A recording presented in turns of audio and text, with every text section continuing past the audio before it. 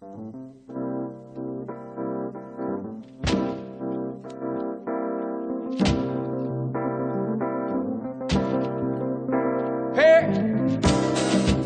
This is about as close as you get to freedom, though, right here. like, uh, I don't know if they're locked in or if I'm locked out. Somebody tell me what's the word? Johannesburg. Say what's the word? Johannesburg. Say what's the word? Johannesburg. Say what's the word?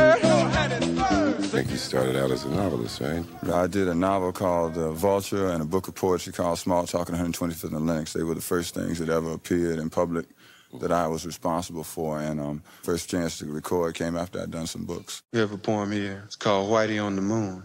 It was inspired by some Whiteys on the moon.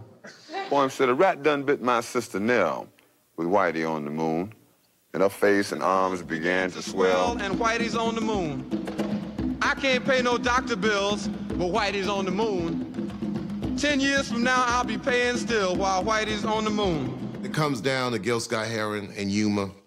It's just a reflection of how we kick it as people. The people who were my instructors, the Paul Robesons, the Langston Hughes, Martin Delany, Countee Cullen, these people not only knew the issues and the ideas and the emotional content of where the, where the community was coming from, but they displayed it in the manner that the community would display it. We'd like to do a poem for you called The Revolution Will Not Be Televised, primarily because it won't be.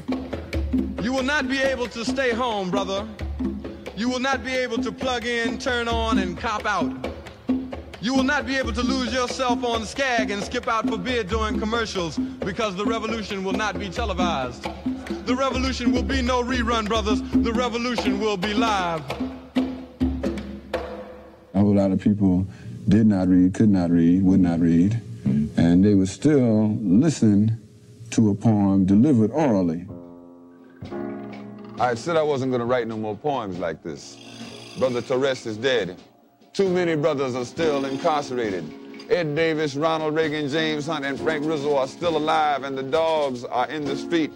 I said I wasn't going to write no more poems like this, but I made a mistake. Taking it from the last poets and the Watts prophets and from James Brown and Curtis Mayfield, pretty much saying, okay, yeah, let's keep it together, but this is what's out there, so make sure you got your eyes and your ears open.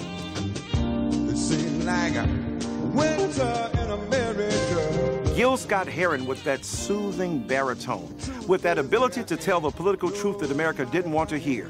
Here was a man who joined the word to the drum, the beat. See that black boy over there running old man in the bottom. He done the quick 95.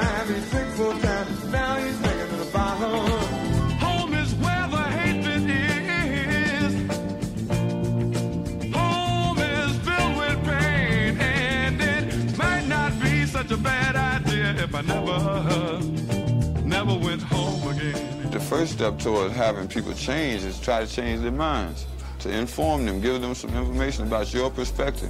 Tell them how you see things and why you feel the way you do as opposed to what they're being bombarded with all the time. Young rappers, one more suggestion before I get out of your way. But I appreciate the respect you give me and what you got to say. I'm saying protect your community and spread that respect around.